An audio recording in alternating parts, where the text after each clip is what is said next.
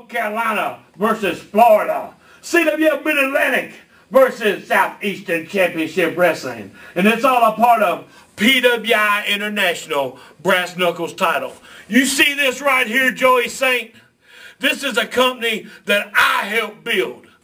And you're going to come up here from Florida and say you're going to end my career. Well, brother, I want to see you do it. Because if I had a dollar for every time somebody said they were going to do it, I'd be a rich man. You're nothing but a young punk. Baby, you want to talk about legacies. Let me tell you something about legacies. This man right here, the Boogie Woogie man Jimmy Valiant, passed his name on to me five years ago. And I've done a whole lot with the Boogie Woogie man name, held a bunch of titles. But see, now I saw what you said about me, and you done made it personal, Daddy. You're going to end my career. Well, brother, I dare you to show up, baby.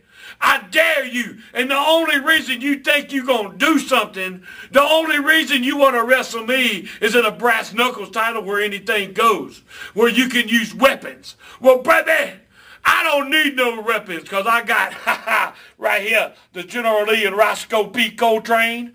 And right here I got the Boogie Woogie Man Jimmy Valiant. So July 9th, baby, bring your best, Daddy. I want you to come on down and visit the Boogie Woogie Man with his peoples because that's all I need. Roscoe, General Lee, Daddy, and the peoples. And we're going to bring your title home July 9th. Woo, mercy. Come on, Joey Saint. I'm coming for it. I can't wait. Let's do it now. Get on the plane. Come on, baby. Hey!